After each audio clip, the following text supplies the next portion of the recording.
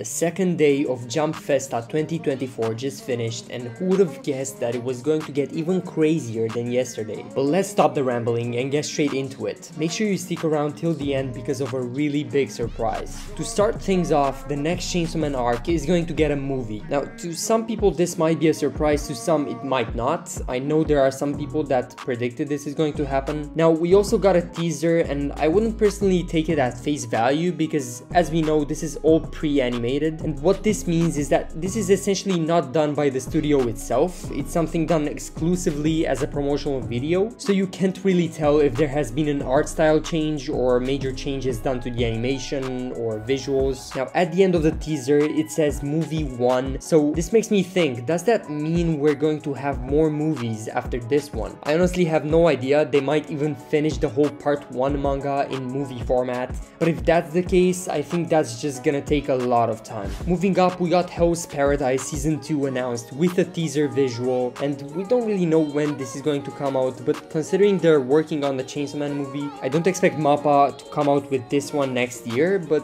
who knows. I'm personally not a big fan, but I'm not going to be quick to judge this. I'll just wait for a trailer and see if this is worth watching. Next, we have a new anime by MAPPA again. Now, can we just talk about how MAPPA announced three separate anime today? Like, they just keep dominating every event they go to. Boku Byaku Battery, or however you pronounce it, is a baseball sports anime, and we also got a trailer for this one as well, and it looks pretty nice. I mean, I haven't really seen many baseball themed anime recently, so I think this one is going to be quite refreshing. This one is coming in April next year, so this is most likely going to be the first MAPPA project of 2024, so that's exciting as well. Now, speaking of April 2024, we got Kaiju number 8 coming on Crunchyroll and on X at the same time, and we also got a new trailer which doesn't doesn't really look that great, I'm going to be honest. I mean, it's not bad, don't get me wrong, it's just not that amazing. I think the story might be carrying for this one, but who knows, we'll just wait and see. Bleach Part 3 has been confirmed as well for the next year, and we also got a teaser as a first look. And I think this is probably the best trailer I've seen today. I mean, I haven't watched nor read Bleach, but this new adaptation always looks incredible, so I'm pretty sure the fans are eating with this one. To finish things off, we have Rurouni Kenshin Season 2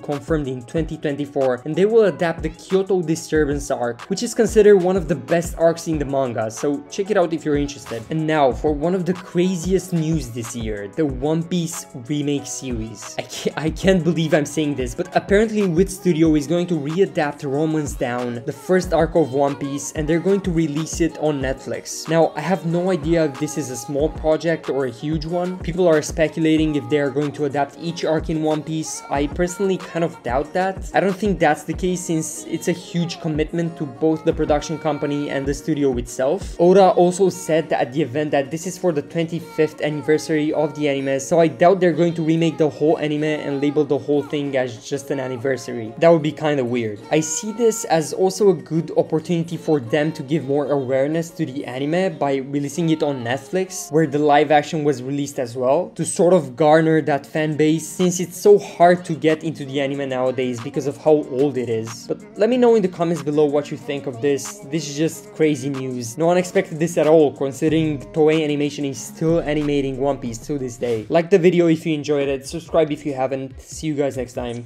Peace.